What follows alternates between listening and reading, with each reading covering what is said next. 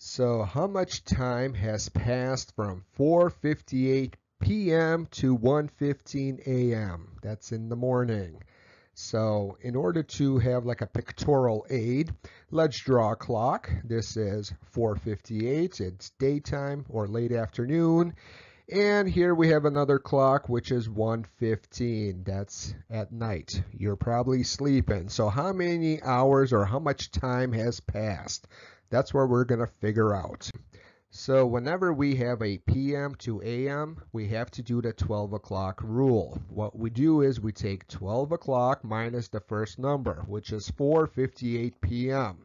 We cannot subtract double zeros from 58, so we have to borrow.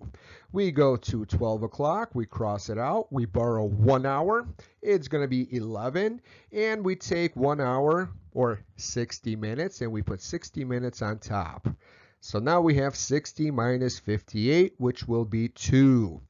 Left side, 11 minus 4 will be 7.